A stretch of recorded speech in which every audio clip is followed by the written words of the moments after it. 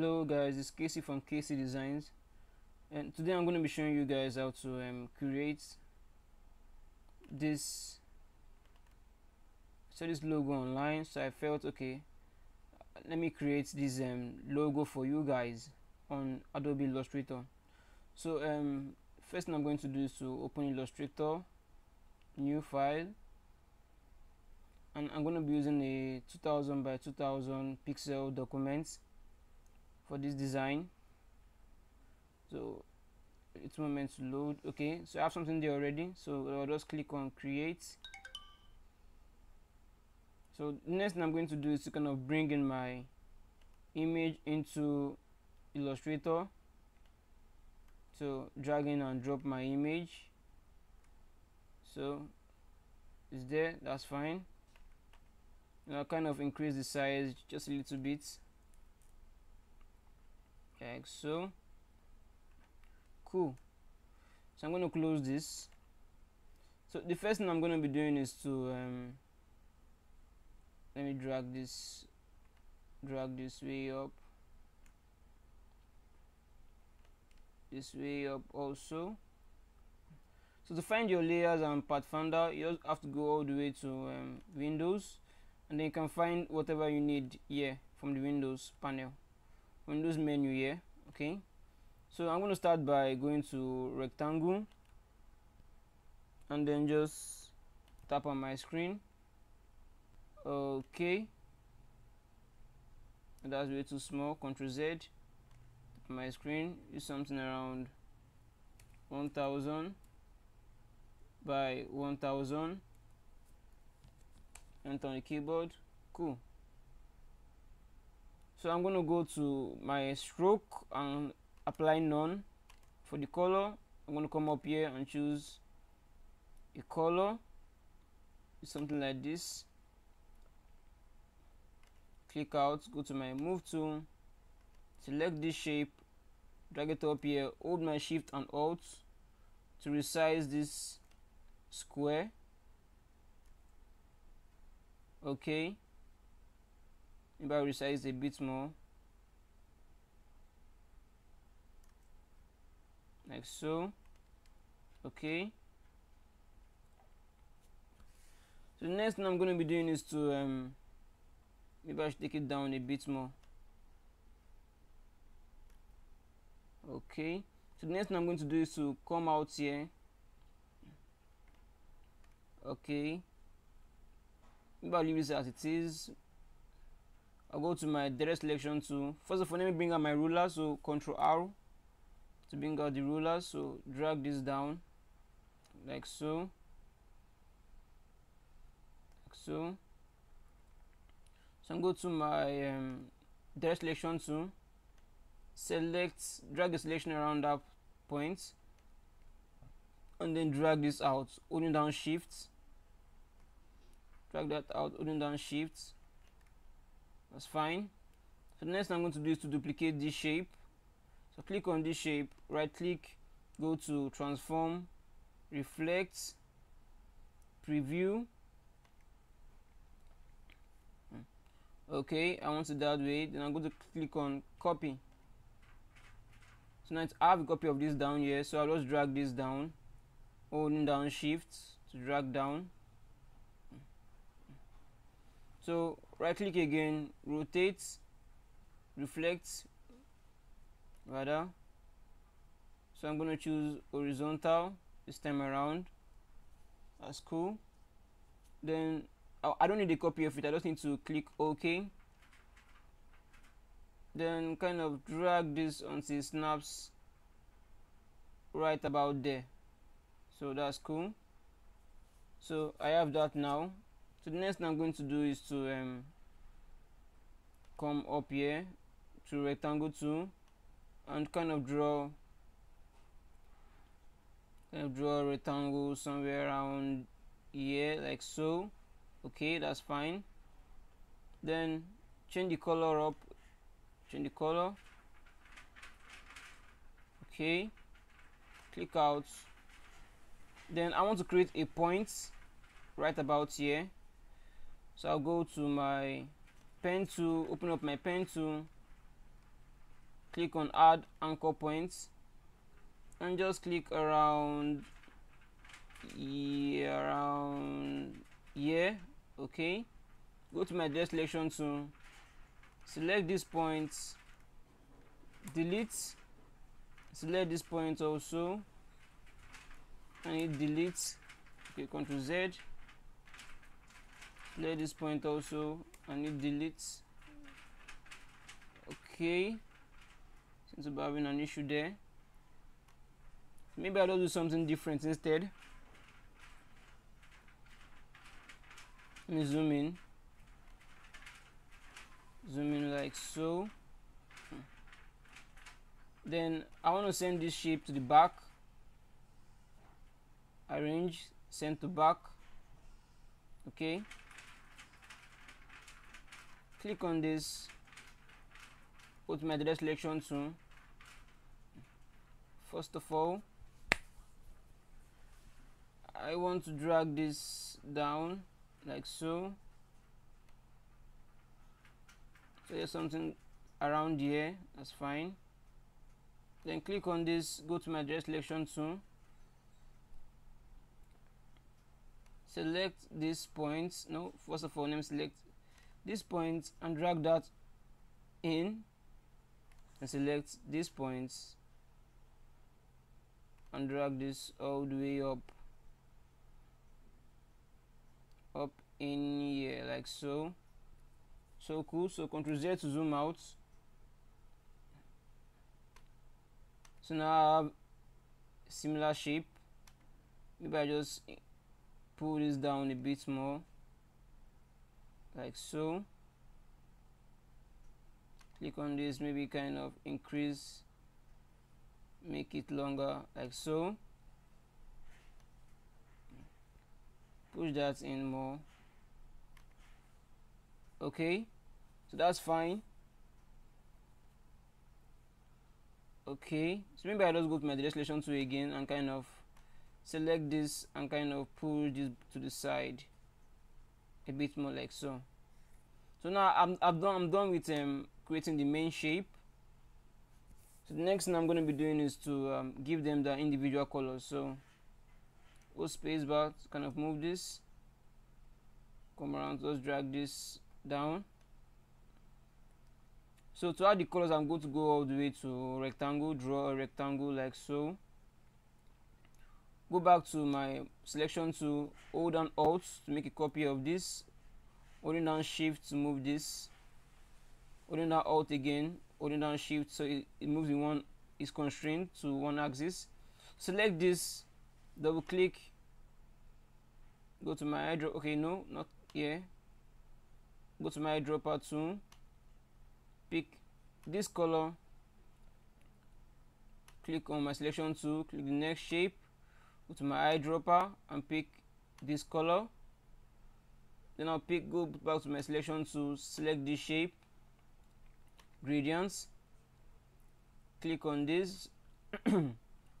Double click to copy the X code. Copy. Go to my gradients. Okay. Double click on this black go to the menu RGB paste enter. Click on this double click on this. Select this copy to my gradients. Double click in here. Change this to RGB select the color and paste the X code cool so now select this shape. Go to my eyedropper tool and select this color. So that is there now. So I'm going to select these shapes drag this up hold and alt and make a copy of it downwards and repeat the same process for the second color here so I'll select this first one. Go to my eyedropper tool pick this color selection tool select this shape. Eyedropper tool pick this color here. With my selection tool select this shape. It's having a gradient already? So select this. Double click copy the X code. Click OK. Go back to my gradients here. Double click and paste my S code select this shape double click copy the X code. Select this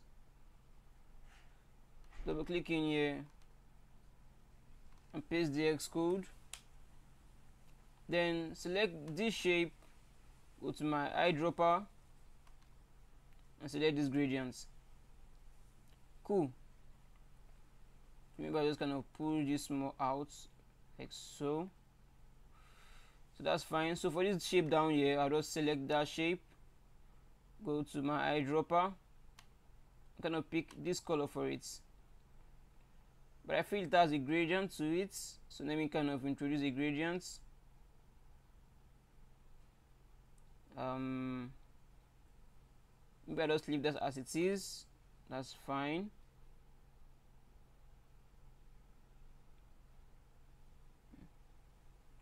I copy the X code. Copy. Click OK. Select this add gradients double click on this. No double click on this. Paste gradients in here. And change the angle to uh, 90 and double click in here paste the same X code enter then double click in here and kind of change this I want to make this a little bit brighter. That's way too bright. Yeah something that should work that's cool. So next thing I'm going to do is go back to go to Photoshop open Photoshop file new and use the same 2000 by 2000 document for this. 2000 by 2000 so I'm going to be doing the entire mock-up on Photoshop. So 2000 by 2000 I have one here custom ready. I can just copy this also. Create. Okay unlock my background and drag in my image to Photoshop